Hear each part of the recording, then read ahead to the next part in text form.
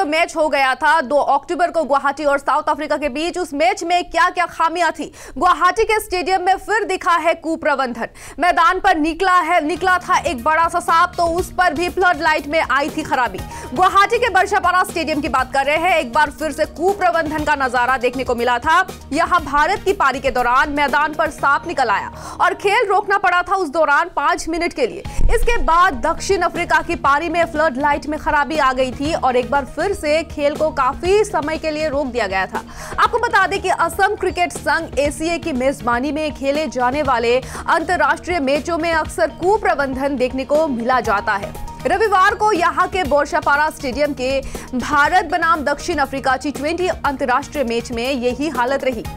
Match में भारतीय पारी के दौरान मैदान पर एक सांप निकल आया तो वही दक्षिण अफ्रीका की पारी के दौरान स्टेडियम में फ्लड लाइट खराबी के कारण दूसरी बार मैच को रद्द करना पड़ा।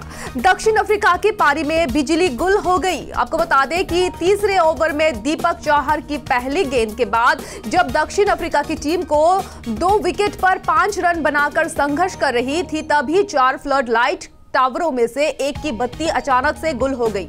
18 मिनट तक खेल को रोक दिया गया था। और इस दौरान सभी खिलाड़ी ड्रेसिंग रूम में वापस चले गए थे।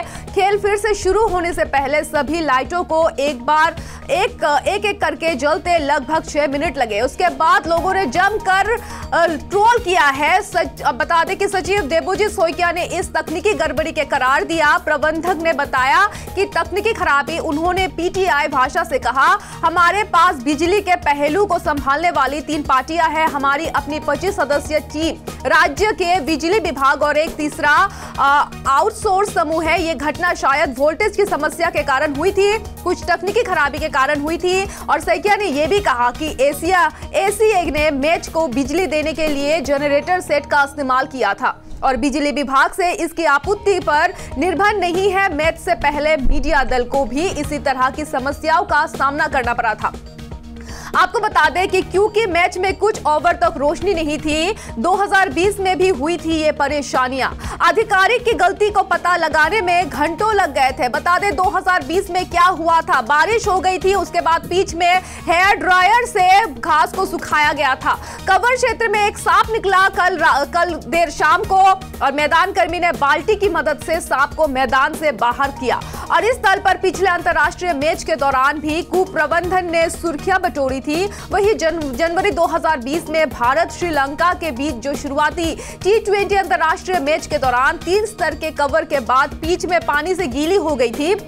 और एसीए ने तब भी सफ़ाई दी। कहा हेयर ड्रायर और स्ट्रीम आयरन बैटरी से चलने वाले पंखे और अन्य उपकरण का इस्तेमाल करके स्टेडियम को सुखाया गया।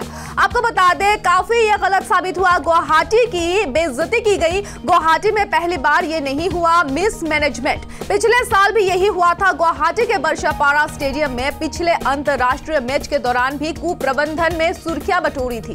वही जनवरी 2020 में भारत श्रीलंका के बीच जो ये मैच हुआ था, तब भी ये ही हुआ था। उस दौरान तीन स्तर के कवर के बाद पिच पानी से गिली हो गई थी। आपको बता दें, असम क्रिकेट संघ एसीए की मेजबानी में खेले जाने वाले अंतर्राष्ट्रीय मैचों में अक्सर कुप्रबंधन देखने को मिला है।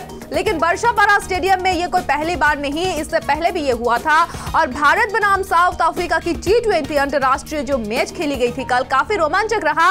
लेकिन एक गलती की वजह से दुनिया भर में, विश्व भर में अब असम गुवाहाटी की जो ये इंटरनेशनल स्टेडियम है, उसकी धज्जियाँ उड़ गई। वही साउथ अफ्रीका की पारी के दौरान स्टेडियम के फ्लड लाइट पूरी तरह से खराब हो चुकी थी। दूसरी बार मैच को रोकना पड़ा था। गुवाहाटी में पहली बार ऐसा नहीं हुआ था, हालाँकि हमने आपको बताया है।